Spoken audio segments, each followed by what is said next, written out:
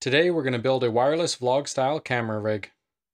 Welcome back to Ben's Tech Lab. One of these days I'd like to take you on a tour of my office studio and show you all of the equipment that's hidden behind the scenes that allows me to make a video with zero setup and zero takedown. And who knows, maybe I'll take you on a tour of my network rack where my NAS, router, and home automation stuff lives. Anyway, I wanted to build a wireless vlog style camera rig that's still hooked into my ATEM Mini Pro ISO, which records all of my camera angles to one SSD for easy editing. Besides having a mobile camera rig for walking around, I could also keep the core part of the rig on a quick release plate so that I could simulate having way more camera angles than I actually do. I'd then be able to pop the wireless camera off of the SwitchPod and pop it onto something else like a super clamp, which can clamp to the edge of my desk, a bookshelf, a C-stand, or anything else. For today's video, I'm going to be using the Sony a6400, but most of these components are pretty universal and will work with any camera you want to use. I chose the a6400 because it has really good autofocus and it also has this handy little pop-up screen for vlog mode. All right, so let's get the first component out of the box here. What I've got here is the SmallRig L bracket for the a6400. Now, the reason this is an L bracket and not a full cage is for weight. My intention is to be able to hold this vlog style camera rig up uh, with one hand while I'm walking around, so I want it as light as possible. I do use a full-size cage on much of my other uh, cameras, but this one is specifically about half the metal that would be on a full cage, but still provides the opportunity to mount a few accessories on the side uh, that we're going to get to later, such as a microphone and a wireless HDMI transmitter. So let's put this on the camera body first. SmallRig is really nice about including a small tool on the bottom of their uh, rigs, which is kind of fun. And then you can just uh, screw this cage on like so. And then the tool just magnets onto the bottom of the uh, half cage L bracket here. All right, so we got an L bracket on our camera, but let's set the camera aside for a second and go to the SwitchPod and uh, quick releases that I've chosen. So first of all, if you've been in the YouTuber world for more than a day, you've probably seen the SwitchPod advertised somewhere. It's pretty famous because it was designed specifically for YouTubers who want to do vlog style setups. Let's take a look at the product here. So the SwitchPod has got some very cool design features. Obviously it's designed to be held with one hand like this, where you can have a camera mounted on top, but it's got this unique aspect of being able to throw the legs out and set it down on a table anytime you want to. Uh, that makes it really easy to have a variable shot where you maybe want to go from the side of your computer or focus on a product on your tabletop reviews. You can just move it around as needed. And when you need to pick it up, you just pick it up and walk away and you can go kind of vlog style mobile wherever you want to go. Uh, with the three legs deployed, you can also hold two of them as a little bit of a grip for uh, kind of a cheap Steadicam sort of setup here without getting too fancy. So the SwitchPod has a quarter 20 screw on the top, so you could theoretically mount just the camera straight onto the SwitchPod, which is fine. But I found two problems with that. One, it's a little tedious to screw in and screw out every time you want to take your camera on and off of the tripod.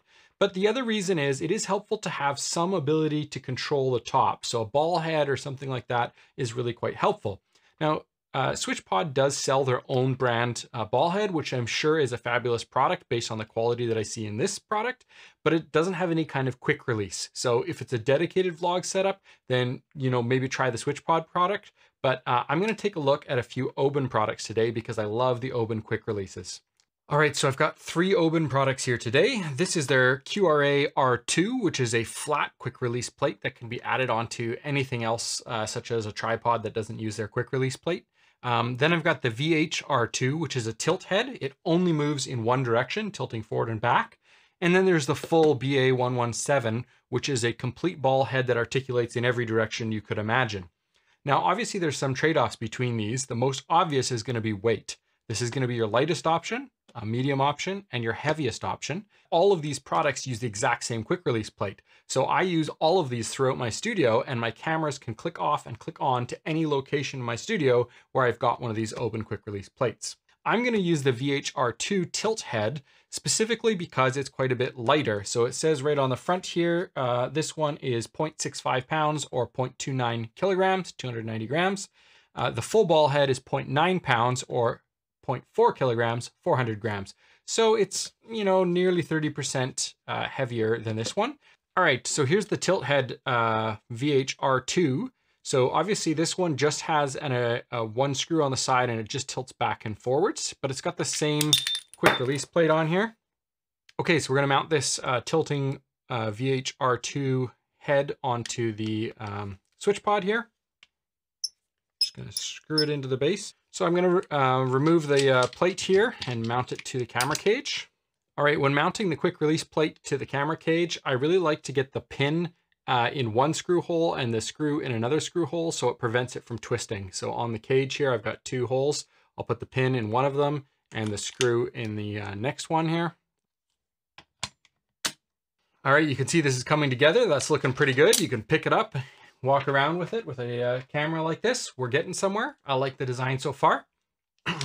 One little minor detail here that I didn't point out before is that I already had a cold shoe relocation bracket on the top of the 6400.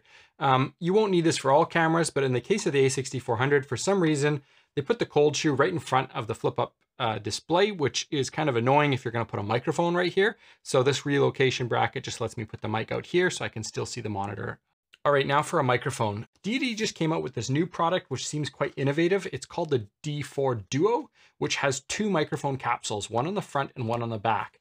The idea is that you might be vlogging with your camera like this, where you're talking towards a microphone on here, or you might be holding it like this and giving a tour of your facility or your gym or your whatever, and you're talking to the back of the camera, in which case the rear capsule will pick up your voice much better than the front capsule.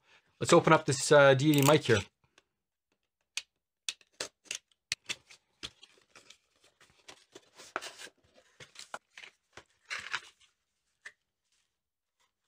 All right, as far as uh, complaints go, I watched a bunch of reviews on this Deity mic uh, on YouTube, and it seems that the number one uh, complaint, if there's anything wrong with it, is its sensitivity to wind.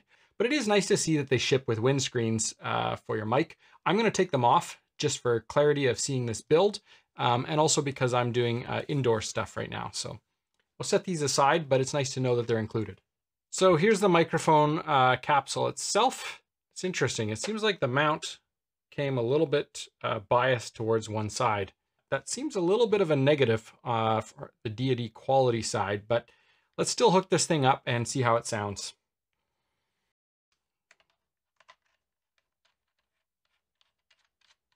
Uh, comes with a nice little uh, cord here. There we go. There's the uh, Deity D4 Duo mounted to the cold shoe relocation on this uh, A6400. All right, I'm going to take the camera off of the uh, SwitchPod for a second here. Another nice thing about these Oben uh, quick release plates is they are flat on the bottom, which means you can set the camera down uh, on the table and it's not going to have any protrusions that tip it over or make it try to fall. All right, let's get to some of the really fun stuff. I've got the uh, Hollyland Mars 300 Pro here. This is um, what I'm gonna use for wireless HDMI transmission. This is a pretty popular kit and you'll see it all over YouTube. Um, it's not perfect. It does have a small bit of latency, which they claim is around 80 milliseconds. Um, that's small enough that it doesn't matter for kind of amateur YouTuber use. Uh, some of the really pro solutions that have zero latency are two, three, or four times the cost uh, just to get going. So for my use case, 80 milliseconds is a totally acceptable latency. All right, so what do we got in here? So we've got the transmitter unit and the receiver unit. They are labeled here on the body so that you can see uh, what's going on. The units are, uh, I think, identical in size. There's just a difference in their function. Um, and there's a lot of reviews on these on YouTube, so I'm not going to go into crazy detail about uh, the specs and whatnot of what they do. Uh, bottom line is you put your HDMI in on the transmitter and you get it out on the other side on the receiver. They can take the Sony L series batteries or USB-C power, and they're pretty compact in size. I wanted something small and lightweight, and so I didn't want something with three, four, or five antennas sticking out at the top of it because this is a wireless vlog style thing that I'm going to be carrying around uh, with me when I'm using it. Let's open up the kit a little more here. Got a few bits inside. So there's the transmitter. We got a little cold shoe connector plate. You got your USB-C cable for um, powering it if you like. And you've got this little adapter which can be used for mounting, which we are going to use today. On the receiver side, we've got a very similar body style uh, function here and no more goodies on that side. So you only get one USB-C cable, presumably for only one side of the kit. And you only get one of these uh, side mounts, which is uh, an interesting caveat here. All right, to screw on this little adapter plate, you will need a small kind of a jeweler style flat blade screwdriver. Okay, so we've added the adapter on the transmitter here so we can attach it to the uh, camera cage. We're going to use this little cold shoe adapter. Screw it in there a little bit.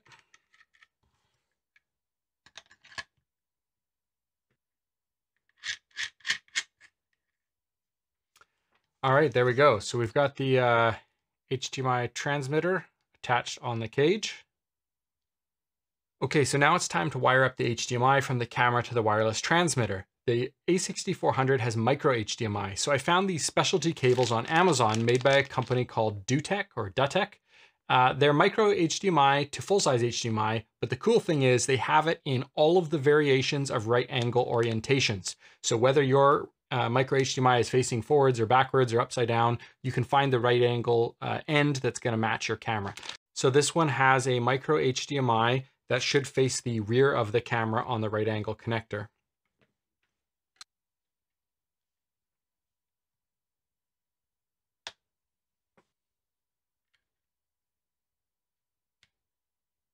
Okay, last but not least, we're going to need a small Sony NPF series battery. This again was, uh, this is the smaller 550 size. This is from Neewer and it's an Amazon special, uh, fairly inexpensive. Um, I picked the smallest one I could because I'm not likely going to be vlogging for a long period of time and I want the weight to be kept down on my uh, setup here.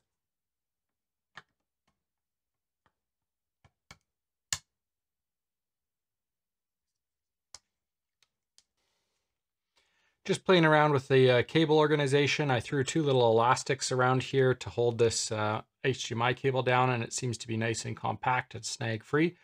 Okay, so next thing we need to do here is to hook up the receiver module to my ATEM Mini Pro ISO 4 recording. So I'm gonna give it a little bit of power here. I will work out some permanent plug-in power for it eventually, but I'm just throwing a battery on there for quick uh, show and tell today. I'll grab an HDMI cable and put it onto HDMI out. And then I'll just uh, turn this guy on and set it off to the side. All right, I'm liking how this wireless vlog style camera rig is coming out so far. The only thing we need left before we can test this thing is the choice of a lens. Now you can buy the Sony a6400 with a kit lens for under 100 bucks when you buy it with the camera body. That's a pretty good deal. It's a 16 to 50 millimeter lens, and one of its biggest advantages is gonna be size and weight, so it's quite lightweight. The trade-off is it's not gonna have the world's best low light performance because of its aperture, and it's not gonna have the world's best autofocus. If you really want to step up your game with low light and autofocus, the number one recommended lens on YouTube for vlogging is going to be the Sigma 16mm f1.4 lens. I'll link to this one in the description below as well. All right, we've got a lens. Let's try this thing out.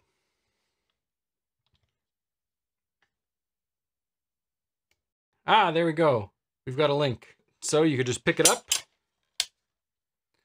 Okay, so this is the vlog mode where I've got the flip up screen uh, in front of me. I can see on the flip up screen uh, what I look like and uh, the microphone, the D4 Duo is just right up here and the Hollyland Mars 300 Pro is right back there.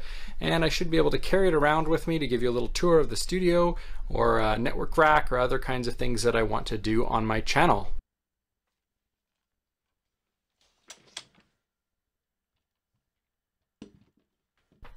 Cool, okay, well hey, here's an example of setting the SwitchPod down on the table to get a cool new camera angle that I might only set up temporarily. So if I was doing a tutorial at the computer here, I'd normally have another camera on top of the monitor and this could provide a little bit of a wide angle shot.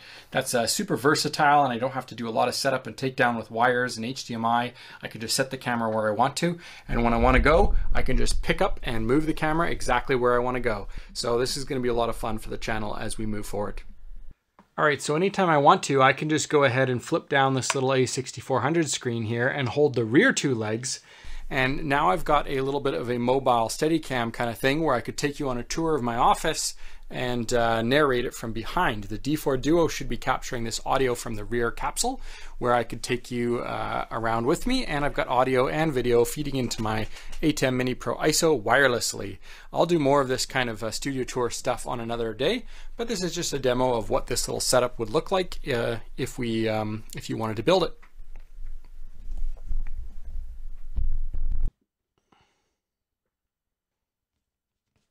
All right, hey, cool. So what I've done here is I've just set the SwitchPod and the camera over here on the corner of my desk to give you another example of a dynamic camera angle. So uh, to try this thing out, I'm gonna leave the camera there and record it as another camera angle and build something else. So remember I mentioned this was a little too heavy for my preference as a one-handed carry kind of log style setup, but it's super handy to use with a super clamp as another way to move this wireless camera rig anywhere around your studio by clamping to a table, a bookshelf, a C-stand, or anything else like that. So what I'm gonna do here is this uh, super clamp comes with this little spigot, which has a quarter inch thread on the top. And this uh, BA117 Oben quick release plate has a 3 8 thread on the bottom. So I've got a small uh, reducer thread here. We'll just uh, put that guy in there. All right, I'll just take the spigot out of this uh, super clamp and thread it onto the bottom of this Oben BA117 ball head. And now I can plug it into this quick release anytime I want. Let's face it, maybe that way. All right, so I've attached this quick release uh, Oben ball head onto this super clamp and you can now loosen this up. You can turn it around like so. You can also bend the ball head around uh, even to a right angle like so, which means no matter what you're clamping it to, you've got a lot of flexibility for how you want to place that camera. So let's try it out.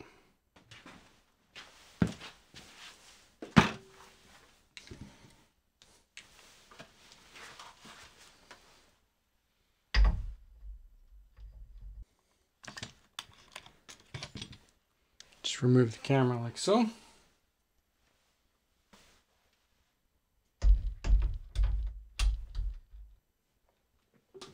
All right, so we've clamped the super clamp up to the ceiling on some mounting stuff here just to show how versatile this wireless vlog style uh, camera rig is. Now watch how fast I can transition this back to the SwitchPod.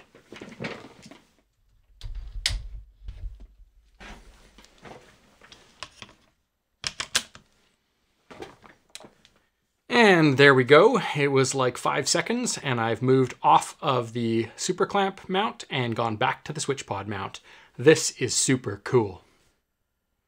I love how versatile this wireless vlog style camera rig is. It takes like five seconds to pop it off the SwitchPod and throw it on a super clamp or take it off the super clamp and put it back on the SwitchPod. Hey, if you want to build a rig like this, consider using my purchase links in the description below. While you're down there, hit the like button and consider subscribing. Otherwise, I'll see you in the next video. Wee. Wee. Whew, that's intense. That'll make you sweat. Wow.